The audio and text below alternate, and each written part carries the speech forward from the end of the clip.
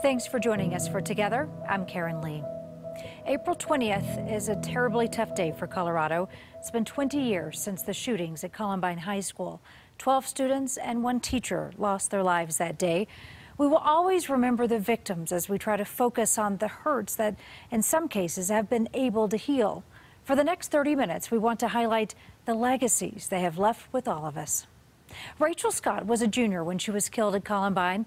Since her death, her family has been motivated to do something to not only honor her, but help others. Both her father and brother have created nonprofits meant to inspire young people. Rachel really did care about other people. She understood the power that a simple act of kindness can have. Rachel Scott's 17 year old life came to an end at Columbine. But in many ways, she lives on through a program called Rachel's Challenge. Her legacy described in a video narrated by her sister Dana. But after we lost Rachel, it was like we discovered this whole side of her that we had never seen before. Part of that discovery came on the back of a piece of furniture where her handprint was discovered. When she was 13 years old, she drew an outline of her hands on the back of her dresser, and she wrote inside of her hands, These hands belong to Rachel Joy Scott and will someday touch millions of people's hearts. And he says that is happening. After her death, her family started Rachel's challenge to carry out her desire that if one goes out of their way to show compassion, it'll start a chain reaction. It'll reduce bullying, harassment, and violence. Let's make today the chain reaction moment. After Rachel's death, her family read her diary and they pass along her message everywhere they can. She wrote in her diary and she said, I had my ups and downs and I fell a few times, but I did not give up. Rachel's brother Craig was also at Columbine the day of the shooting. He survived. How many of us know what we really want? He's now started another program called Value Up. I have a, a message of valuing yourself and valuing others and choosing things that match that value. It definitely came out from Columbine. And through her writings, she's inspired all of us to make each and every day count. She certainly has. Frank DeAngelis was the principal of Columbine back in 1999. Since that day, he has, he has focused on rebuilding. First, he worked to rebuild Columbine. Now he helps other principals who have been in similar situations. Rick Sallinger reports. After the bullets had stopped flying, after all the funerals were held, it would have been understandable for Columbine principal Frank DeAngelis to walk away. But a pastor whispered something in his ear. He said, Frank, you should have died that day. And you didn't. Now, God's got a plan. You need to go rebuild that community. A community he joined in 1979 as a coach and a teacher. He became Columbine principal in 1996. On the wall of his office were many honors and mementos, but what stood out were the names of those who were killed 20 years ago. Every morning I wake up, I recite the names of the 13, and they give me a reason for uh, getting up and doing what I'm doing. He doesn't want their deaths to be in vain, so now he heads up a group of principals from cities where school shootings have taken place. He told them, I know where you are right now. Many of you are in the first, second, third year. I represent 20 years, and there is hope. Columbine has indeed rebounded over the years. Scott Christie is now the principal and says he doesn't mind that his school's name keeps coming up whenever another terrible incident occurs. I hope that they look to Columbine to see what can happen, how they can rebuild, what it can become. Frank DeAngelis retired from Columbine in 2006, but it will always be a part of him. I'm going to continue to speak on behalf of all the people, the 13 who lost their lives, the 24, and all the people who are so deeply impacted, and that's my mission in life. Frank DeAngelis joins us now. We appreciate you spending some time oh, with us. Thank you for having me. Why was it so important for you to stay at Columbine after this happened? It was important. Um, it was two days after, and I was really struggling. And I'm a person of faith, and I was questioning my faith for the first time. And Father Ken Leone calls me down to the parish where I'd been a member, and he said, Frank, you should have died that day, but God's got a plan.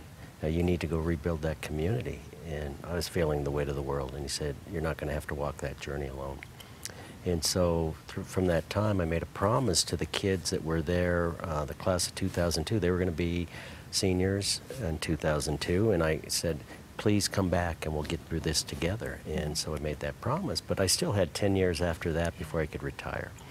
And so I was struggling, thinking I didn't fulfill that promise. So I decided to stay until every kid was in preschool, every kid that was in kindergarten graduated. Right.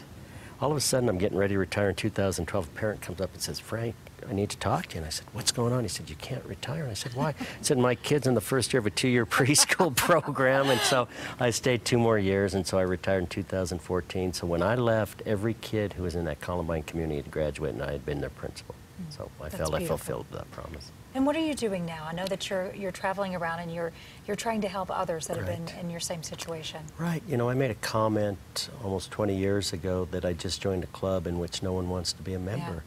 And now I, I remember people reaching out to me. One name that stands out was Bill Bond. He was a principal at Paducah in uh, high, or at Heath High School at Paducah, and it was he reached out to me, and I remembered that, and now just paying it forward. And it was interesting. Probably a month ago, I received a phone call from the National Association of Secondary School Principals, and they said, Frank, we're thinking of starting this network. I'm, I mean, that's we do things informally, but would you be willing to head it up? And so I was in Washington, D.C. two weeks ago, and there were 16 principals there that had had similar situations Parkland, Santa Fe, and other places. Too many. Too many. Mm-hmm. But we're together, and it was interesting when they said, Frank, we want you to be our spokesperson because after these tragedies happen, we received so many phone calls. We're just inundated with this information. But when we saw Columbine Principal Frank DeAngelis, we picked up that call. Mm-hmm. And even though we can help you in certain mm-hmm. parts of the country, that initial phone call from get, getting to you will make that connection that we need. Frank, quickly, how can people get involved and how can they help out your efforts here? Oh, my efforts. One of the things that I represent that's near and dear to my heart is the Columbine Memorial. Mm-hmm. And that was dedicated in 2006. And we're, we want to make sure that that legacy lives on long past myself and others. It's a generational thing. And the parents of the deceased and the injured students put so much love into that. And so, boy, just looking donations to keep that going would be wonderful. Yeah. Frank, thank you so much for Thanks, spending some time with us. We appreciate it. Thank you. Well, there is a peaceful place where all are welcome to come and remember those who lost their lives that day. We're going to look at how it's providing hope and healing to the family members of the victims. Together with Karen Leigh, sponsored by Canvas Credit Union. We're Canvas, and we've got you covered, Colorado. Go live.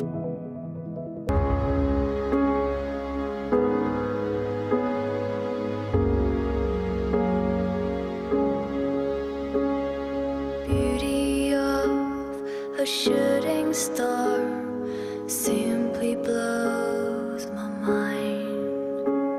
I'll make a wish and close my eyes, breathe the fresh air of the night. A summer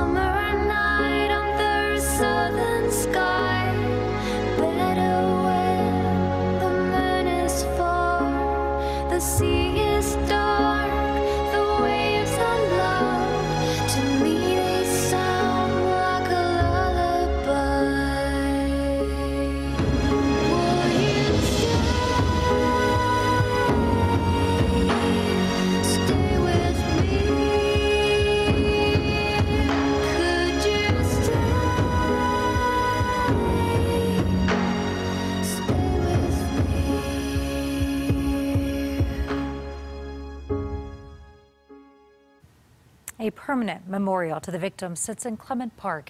It's a place for survivors and the community to gather together. It's a place to heal the heart, as Mackenzie O'Keefe discovered. Tucked away in Clement Park, you'll find a place of serenity, a quiet breeze, water flowing, the place where 13 lives are honored and remembered every day. The names will be never forgotten. Over the years, the memorial has been a place to grieve and a place to heal. Rick Townsend is president of the Columbine Memorial Foundation. His daughter Lauren was killed in the 1999 shooting. I walk over to Lauren's plaque and and uh, and I read it and see what she had to say because it's in, written in her words. There you'll find the names of each victim, words written by loved ones engraved in stone. I feel from sad, uh, contemplative. Um, I feel fulfilled sometimes that that there is this place to come to. And that's the purpose a place for neighbors, friends, and complete strangers to come and heal. You're able to just think and reflect about the world. You'll find a tree where faded blue ribbons hang, a flower placed gently near each name, and the wall of healing, covered in quotes written by students who survived. Their words are powerful. They still are today. I think of how these students and families were impacted. It's just, and what they've gone through.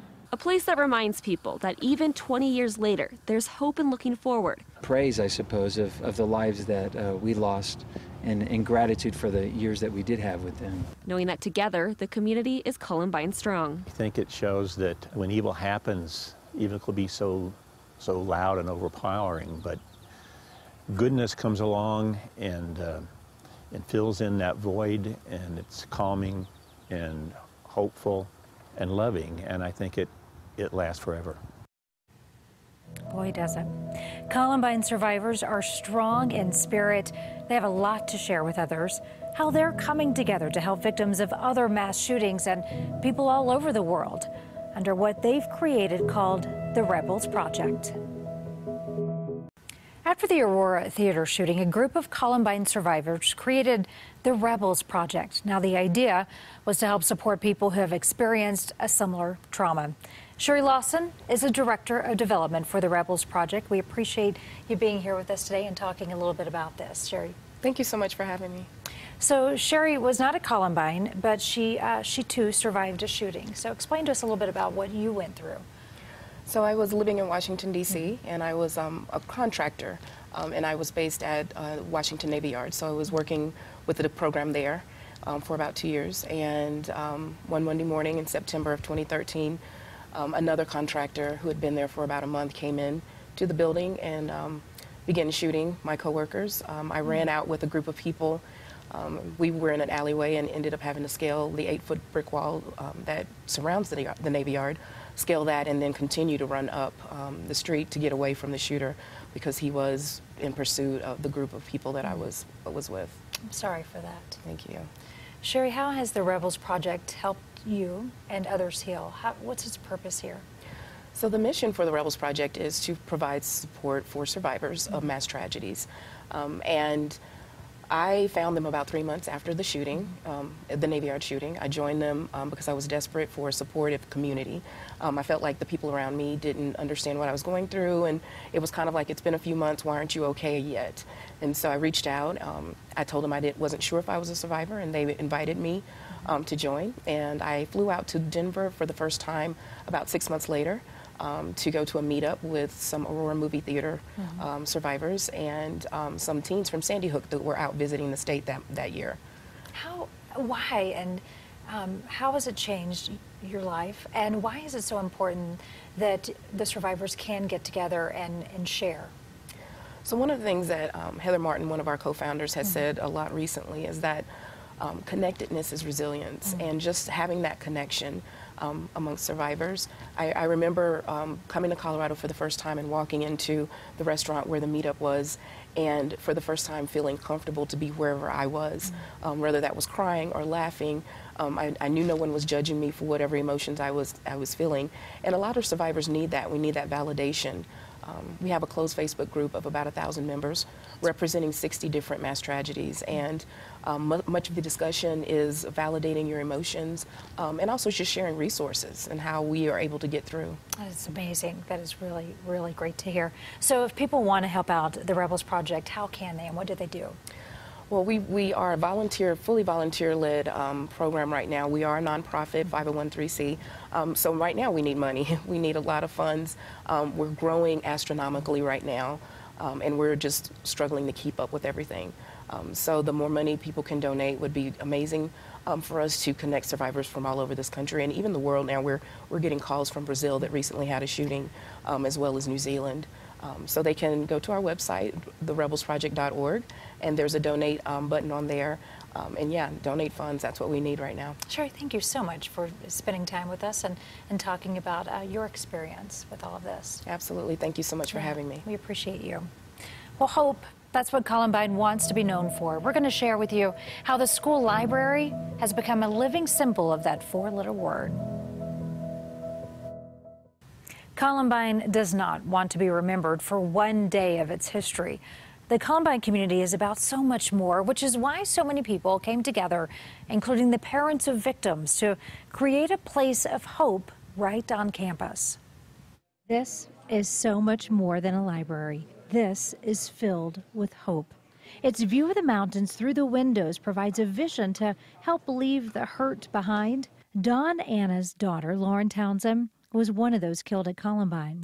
Lauren's friends, students came to us and said they want us back in that library where so much had happened. So many children had been murdered, injured. The old library was removed, replaced by an atrium.